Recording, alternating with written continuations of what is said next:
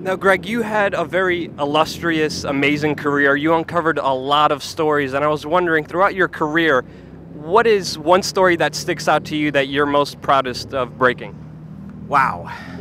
Uh, I would say that I'm, you know, the the story that was the most difficult and the most heartbreaking is I uncovered that George Bush was involved in a gold mining company, Barrick Gold. And that gold mining company, to seize control of a gold mine in Africa, rolled bulldozers over the property to get rid of the small scale miners that were there. But those miners were still in their mines. George Bush's company and Barrick Gold Mining buried alive 50 people. I covered that story, to, and that was tremendously dangerous, but mainly for my sources. Uh, one was charged with sedition, others are beat up, others have disappeared. It is, and it has been totally crushed in the United States and in Europe.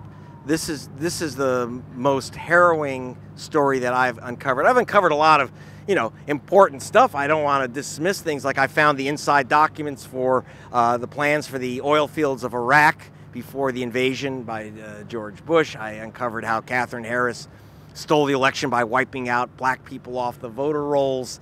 Um, you know, I just I uncovered how BP had a blowout, and that was another story I'm very proud of that didn't that got really no coverage, got crushed in the United States. I put it on top of the BBC news, which is that 17 months before the Deepwater Horizon blowout, BP had a similar blowout for the same reason on another offshore rig in the Central uh, Asian Republic of Azerbaijan. But they were able to cover it up through bribery and threats and everything else, and the US media would not touch that story. BP knew that they said they were shocked when their cement failed and the rig blew up and 11 people died and the coast of the Gulf Coast was destroyed. They said they were shocked. This had never happened. That's a complete, absolute lie. And uncover, I got arrested in Azerbaijan wow. trying to cover that story. So, I mean, I've had a lot of very important stories. Uh, I would say that the burying those miners alive with George Bush's gold mine company, that was the most harrowing story. And I was threatened, my guardian was sued, I was threatened with lawsuits and ruin, um, and of course my sources were uh, charged with uh, crimes. They could have been hung. It was really grim. Yeah. I think what you're doing is extremely important because you're covering news that the mainstream media won't touch or, or doesn't even have access to or even want to get near.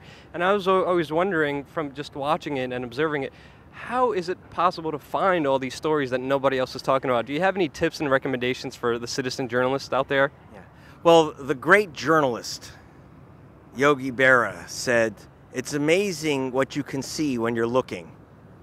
And that's the trick. You have to open your goddamn eyes. And you have to start go- stop going to those fucking press conferences and rewriting press releases. We don't have reporters in America. We have repeaters.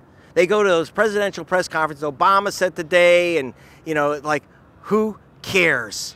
Who cares? They get the official news, the talking points. It makes me puke. It's the you know the horse race. Oh, Hillary Clinton has a new pantsuit and a new hairstyle. You know what? I don't give a fuck about Hillary's hairstyle. Okay, that's how it is. I don't care. I don't want to know. All right.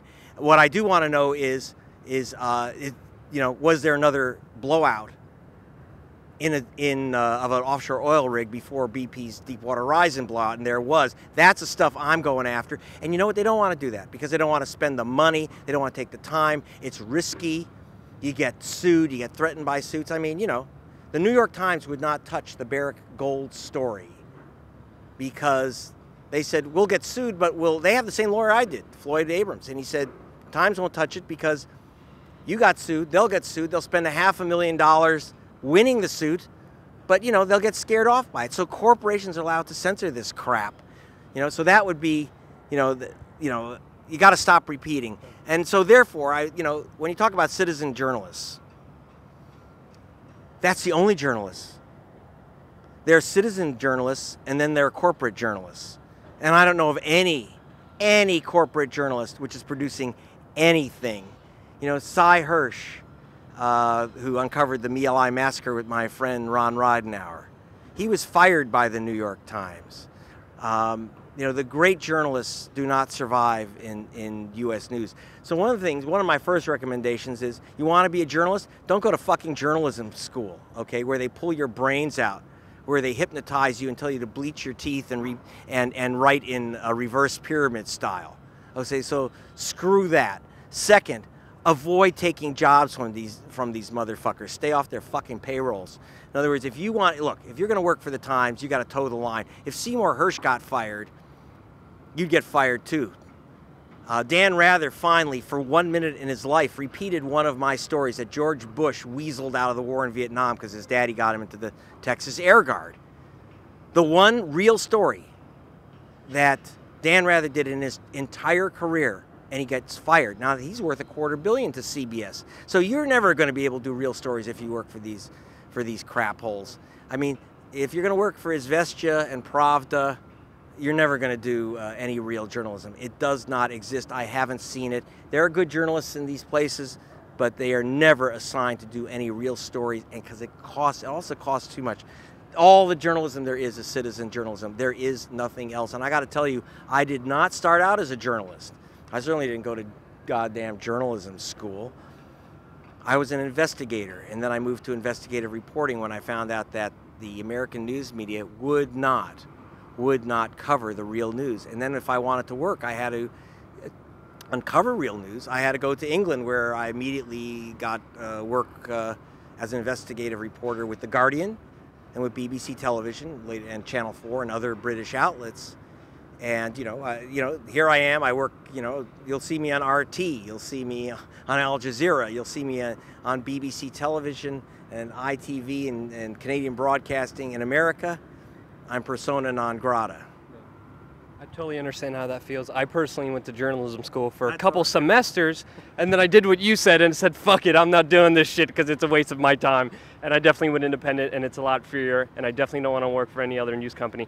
Definitely good tips. Anything else you'd like to say, or any last tips and recommendations for any other journalists out there? Yeah, well, you're not going to, um, you know, you want to be a journalist first of all, you have to see journalism. So go to gregpalast.com and see what it looks like, the real stuff. And also, if you have the guts for it, and if you don't mind too much sex, violence, and, and senseless drinking, uh, read my book about life as a journalist called Vulture's Picnic. Uh, that's my book about being a journalist and what what it takes, and and not only not only how I, you know I always have great stories, but how many stories I just blew away because I just screwed them up, and you have to be willing to, to take that chance. And learn from your mistakes. Check out gregpalast.com. Greg, thank you so much for all your work. You're Keep it up. Really appreciate it. Great stuff.